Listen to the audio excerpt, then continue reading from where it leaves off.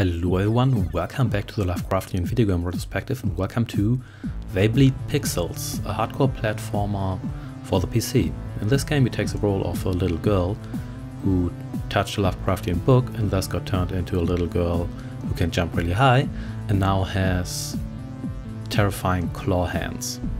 And there's really much of a story here, you're the girl, you're jumping through levels, you kill monsters and that's pretty much it. So this game combines elements of a hardcore platformer as I already said and it also has combos so it's a little bit like a beat'em up in that regard.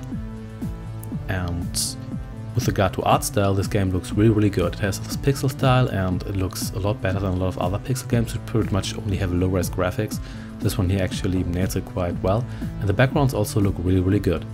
With regard to level design yeah, I have some issues with this game to be honest. I know it's it's really difficult and I found it to be very frustrating, but that's not really the problem. The main problem is that this game doesn't really have all the best level design, mainly because there's only one way to get through all the levels, so it doesn't really give you any different path.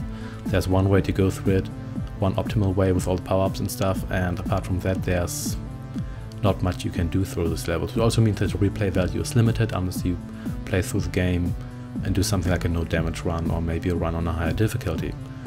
Uh, this game's soundtrack is actually pretty good, but I found it to be a little bit repetitive at times, but it's it is pretty solid, so that's not much of a point for me.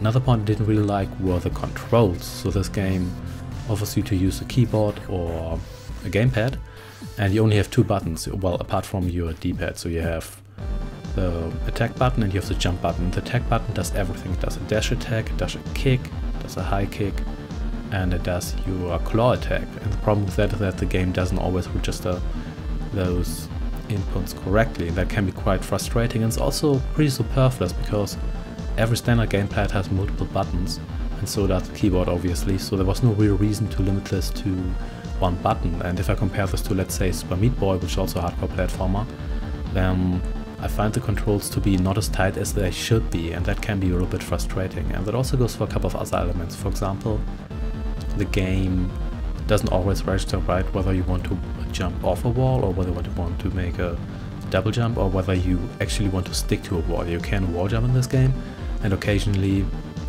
the game just doesn't let you wall jump for no real reason I didn't really find out why. So do I give this game a recommendation?